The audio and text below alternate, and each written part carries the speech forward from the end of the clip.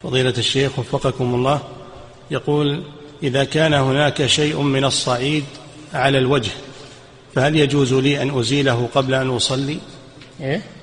إذا كان هناك شيء من الصعيد على الوجه فهل يجوز لي أن أزيله قبل أن أصلي؟ هذا ما يتصور يا أخي أنه بيصير صعيد التيمم يبقى على الوجه ويصير غبارا على الوجه. هذا الصعيد خفيف ما ما يشاف حتى ما يشاف ولا شوف. نعم. المكتبة الصوتية لمعالي الشيخ صالح بن فوزان الفوزان حفظه الله. فتاوى شرح كتاب العمدة في الفقه للإمام ابن قدامة المقدسي الحنبلي رحمه الله مرتبة على أبواب فقهية. إعداد مشروع كبار العلماء بالكويت أعزها الله بالتوحيد والسنة.